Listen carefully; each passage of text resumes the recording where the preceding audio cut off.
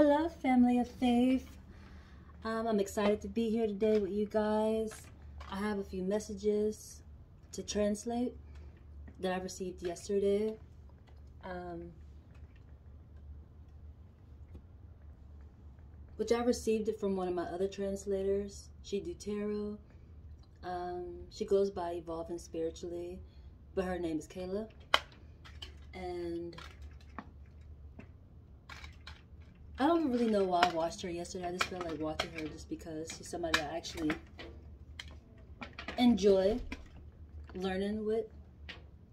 Um, but anyway, as I was watching her, she began to go like into a a raft as into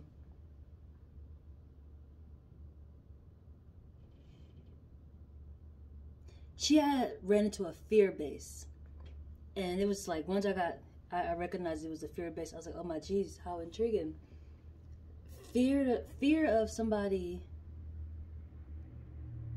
trying to sabotage her relationship and when that came through it's like i instantly had like a epiphany of a translation to give back to her uh, which i actually wrote it down and I actually tweeted about it too because I felt like that was an overall energy. And I was saying, you have to go back straight. Like, she's a person that is of the same sex. She had gotten married to a woman, but she used to be married to a man. But she has evolved better since she's been with a woman, from what she says, and I have experience learning with her in that aspect of. But she has to go back straight and that it's a fear as into losing something that has bloomed her to learn herself.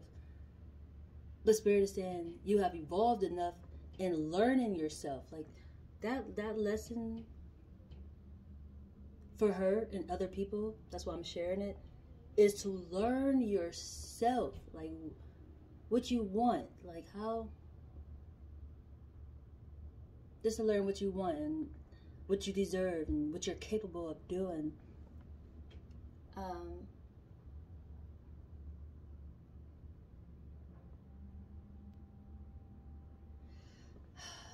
how can I explain that aspect? I have to think for a second.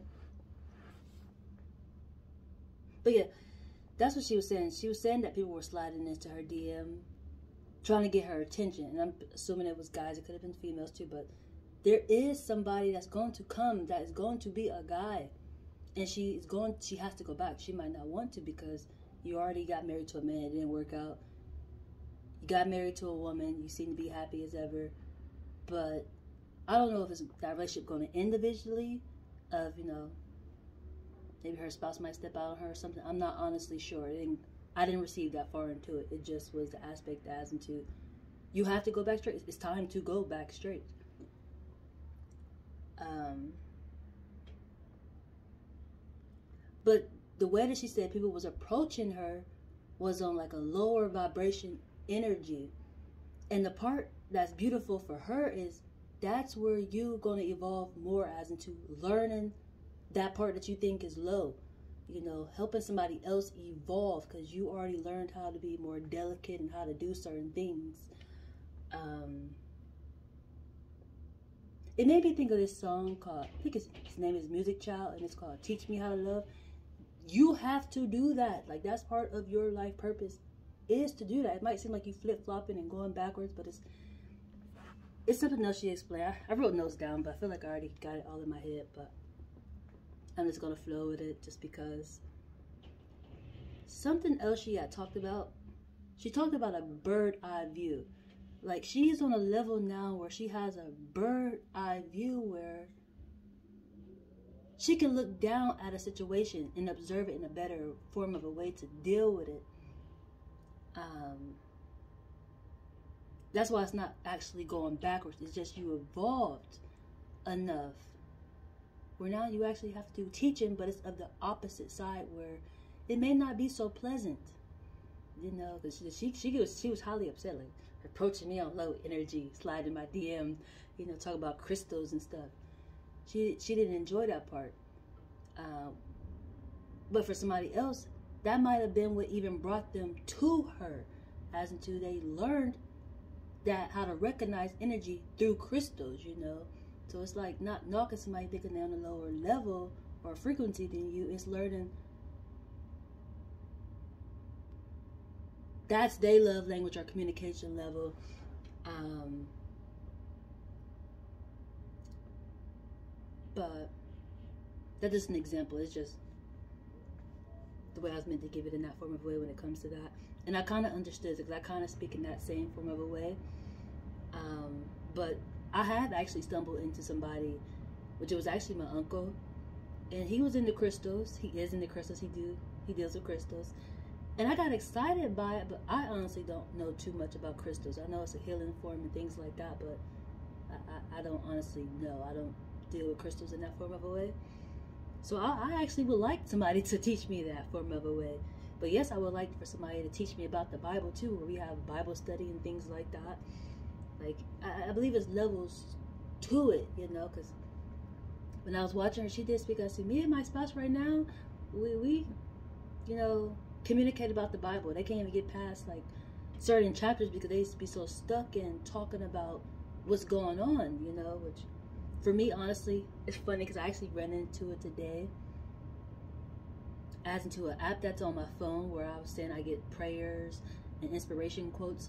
There's actually a Bible section in there that reads it to you audio, or you can read it yourself. But I was enjoying the audio part, and I actually started, but I had stopped because I literally got stuck on Genesis. And speaking of the light aspect and the dark, it, it, gave me a bigger perspective as to what that freaking means.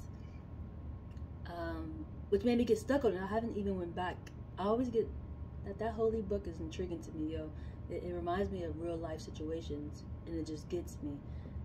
Um, because they really do make me think of a man and a woman, or two guys, or something of that aspect. Um, when it comes to that light and dark, but um so I enjoy all the topics topics too. It's just that's that aspect. The other aspect was something she said that this is all what got me to go and was you know, it's you know people say it takes a village to raise a family.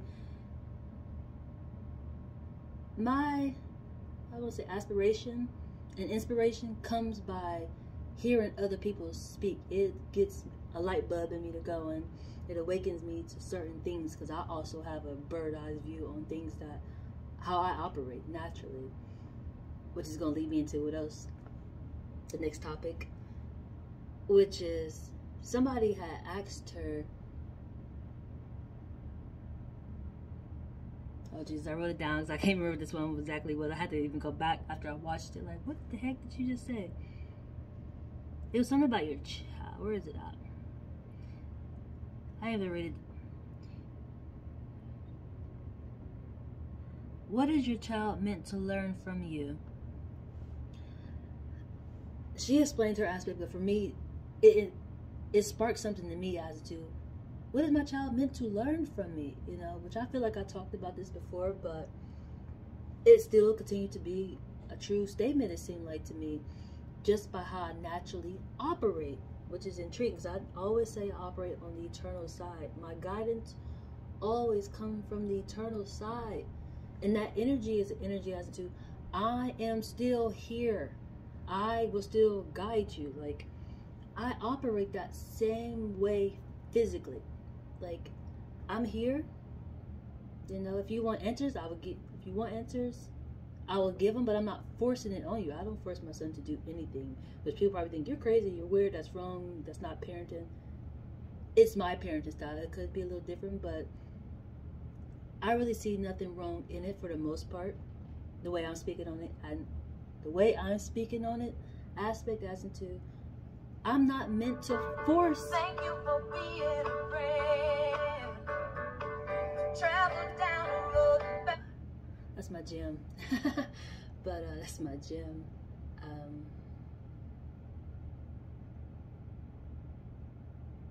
the way the eternal parents operate, they don't force the guidance on you. It's available, but it's not forced on you.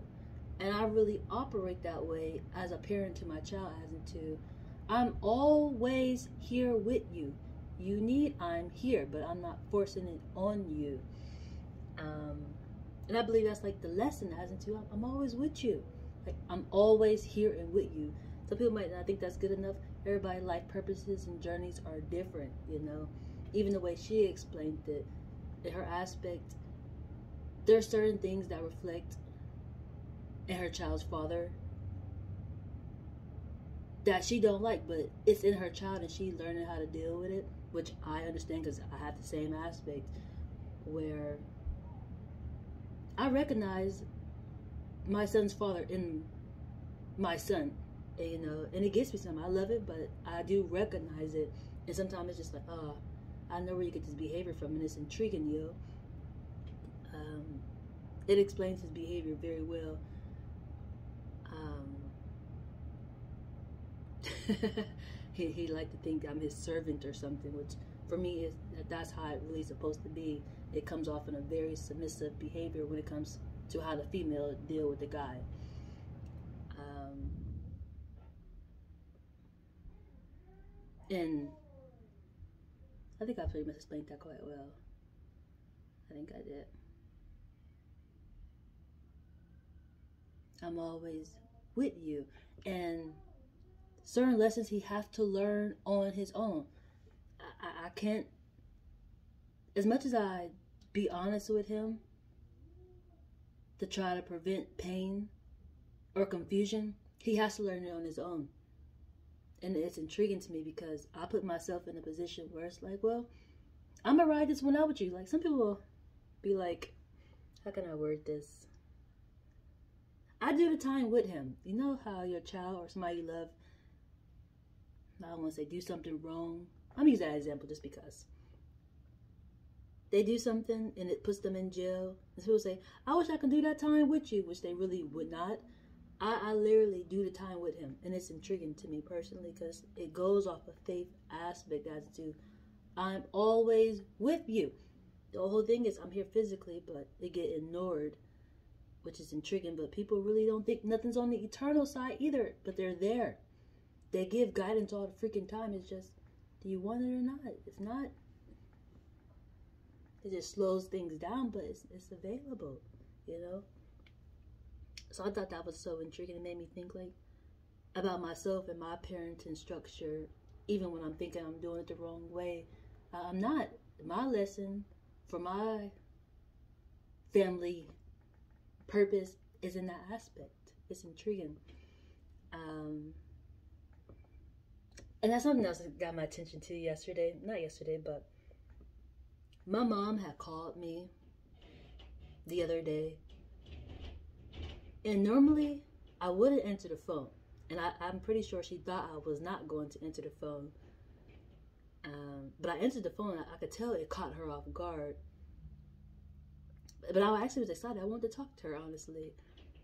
Um, but first thing she said was, "Oh, I'm sorry," and that that had hit a light bulb in my head because one of my other translators was saying, "Allow people to apologize." You know, don't don't not allow don't not allow somebody to apologize to you, even if you feel like I don't want to hear it. Allow them to and if you don't want them to apologize to you, then you've got some own healing to do with on your own. But that's what that came off to me as into like, how so intriguing, you know? And I didn't even feel the need to ask like why. It's just like, oh, okay. But she said that she meant to call her supervisor. Uh, we just had the same name. Pretty much she she didn't mean to call me, which I already knew she was going to say that. My mom been having a behavior lately where she allows the phone to ring like one time and then she'll hang up. She was doing it with my aunt, but I felt like she just wanted my aunt to call her back. She wanted to know what was going on with me. So she would call my aunt like one time, let the phone ring. And you'd be able to see like, oh, she called, us, but call her back. She, she pulled that same behavior. I'm not sure why she's doing that, but well, I think I just explained it, but it just was nice that she apologized. I'm not honestly sure, but I, I, I received it, and you know, I forgive. I always, I forgive her just because it keeps things selling the way it needs to. Like, I, I want to work off a no resistance form because resistance slows things down, you know. Um, definitely when it comes to communication. Um, but while I wasn't answering the phone for my mom, I don't know. I got some work I got to do on my own, you know. I have my moments where I feel like I should love her from a distance, but then I always feel like it's my job to nurture and try to repair things, even though I normally get my feelings hurt. But being a mother myself and seeing that my child, my own child, we have a hard time with communication. Honestly, my son don't listen to me. It, it, it's intriguing. Um,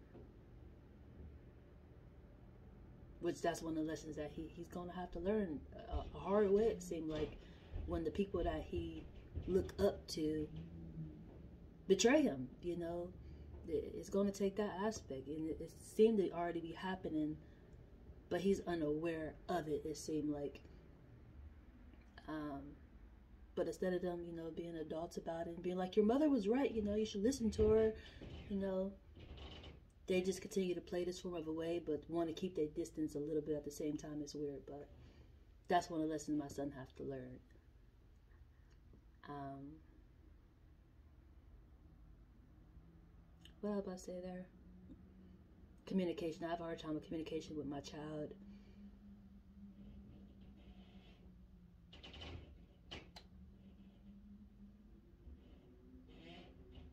And I'm trying to think how to word it how to connect these two together. Because my mom, I feel like it's her job to chase me more than I chase her, but being a parent and having a child who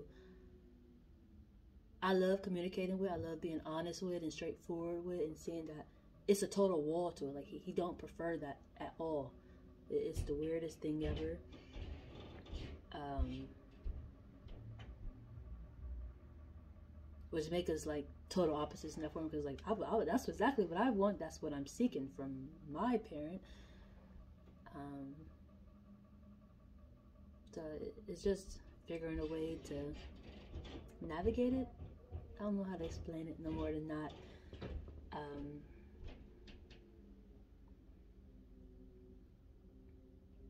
but for me this whole topic is coming in a faith form how enters of blind spots and confirmation is coming through because it's coming through other people's experiences or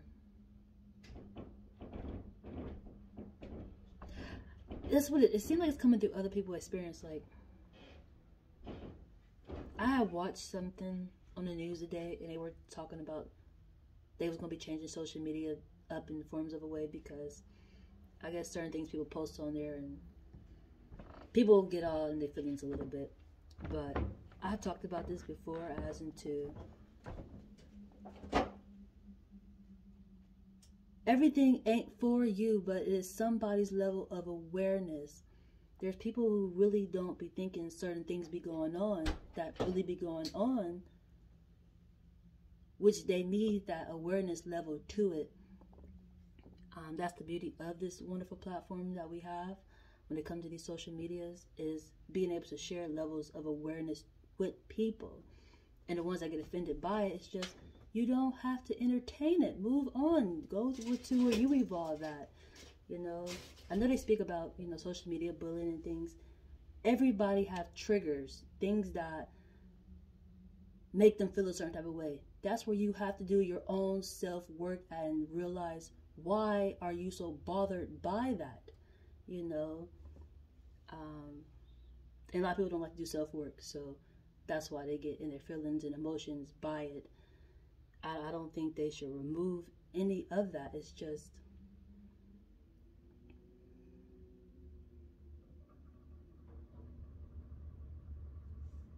don't entertain what hurts you. If that makes sense. There's, there's plenty of platforms and us available that you know you can go forward to for support. Every, that's what it is. Teachers. There's different teachers for everybody. everybody don't learn from the same teacher, you know. Um, and we're all teachers. I don't care if you got paperwork or not. We're all teachers. We all learn from each other. Um, so just find somebody that works for you, you know. Um, I'm gonna leave it at that aspect. Um, but faith is definitely in that form, as until I said, it takes a village to raise a family, and this, this is what that platform has become available to do. Because your village may not be so close. It might be in the whole other state. It might be overseas. It might be around the corner you may not actually have it in your home, if that makes sense. Because um, honestly, even the people that I stay with, we always on our phone looking up different things. You know, everybody has different teachers. Um, where they get their enters to evolve, you know. Which for me, I always say breadcrumbs, because like you have to go different places to receive. But I think that's it in this aspect. I honestly feel like this translation was literally for her, honestly. Which I'm probably gonna add her because I feel like I should, but hopefully she watch it. Sometimes people get discouraged when they see so many people don't people like me who have good content but they don't have a lot of subscribers or likes. Um, they don't think our page is real. I think it's irrelevant, but it's like if the message makes sense, receive it. You know. I do what I do because I, I have to. I don't really do it for the subscribers unless, you know, it's beneficial. But that's not what I do it for, if that makes sense. Um, the hype, that's the word. I don't do it for the hype. I do it because I have to. Um, I don't do it for the hype. I get myself chuggles. But thank you, Spirit. It's the hype. I don't do it for the hype. Um, it's clarity. I do it for clarity. Um,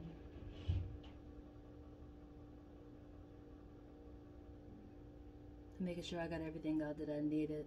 Oh, that's what I was saying, pardon me. I really believe that this translation, I'm going to just speak like I'm speaking to you, just in case you know you do tune into it, because this video has been only 22 minutes, not bad. Hopefully, you don't get offended by this, thinking I'm trying to sabotage your relationship, because that's not what I'm trying to do. I'm just like you. I'm here to be straightforward and fill in blind spots or enters. But if it's not, maybe my mind just got sparked to share this in a bird aspect, a bird view aspect also for things that's going on for other people, to translate for other people, pardon me. But as I was saying, you have to go back straight.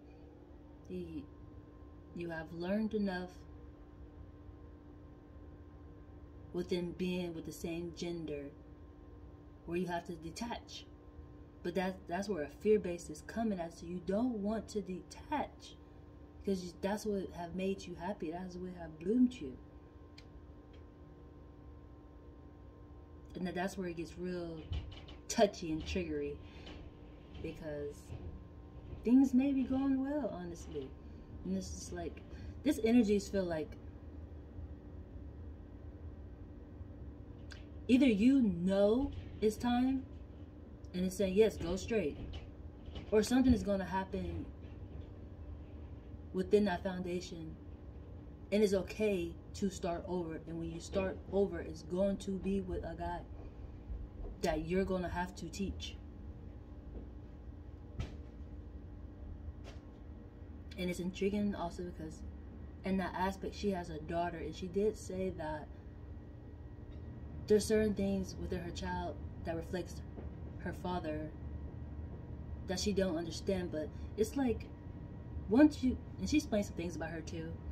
Honestly, she she's a sharing machine just like me. She she don't mind speaking on things that she experienced and go through, which that's why I love her a lot. Because um, I, I can resonate with that. But it actually helps to deal with your child also when you learn yourself, if that makes sense. Sometimes people can learn themselves on their own, or they have to get into that type of relationship to learn themselves to be able to do better within the child aspect, if that makes sense. But Spirit also said it's time to bloom, so she's gonna pop some more babies out, and you. I'm not saying you cannot have kids with the same. I'm not saying that you cannot still have kids within the same gender, but in this aspect, it's, it's definitely you're, you're going the, the opposite way, back straight with a guy, and it's bloom time. You're gonna have more kids for sure. Um, which is actually funny because today I learned that Ash Wednesday is coming up, and I looked it up because I heard of Ash Wednesday before, but I actually honestly didn't know what it was. So I looked it up, and I learned it was a Catholic aspect. Um, but I feel like that's an all people's aspect, honestly. Soon as I heard it, the way he was explaining it about people wearing ashes on their head or on their face, like he kept pointing right here, like they put ashes on their face. I did it like a cross, but for me, it took me into a dying, being reborn energy. Like when they say we are ashes, ashes, dust to dust. I have done this work. Spirit already talked to me about this aspect, um, which that goes to reproduction time, producing. That intercourse, you're definitely going to begin to bloom. It's that same energy as to it's bloom time. Um, people like to say, be fruitful and multiply. I use that aspect, but I look at that in a different form. But it's that time when it comes to the ash part. It's an eternal welcoming. You're you're welcoming energy back that you already are, if that makes sense. So I think it goes very well with the translation that I knew I was going to be translating today because these notes came to me last night or downloads, information. I don't know how to exactly explain it, but it's what I was meant to share and translate today for whoever needs it. Um,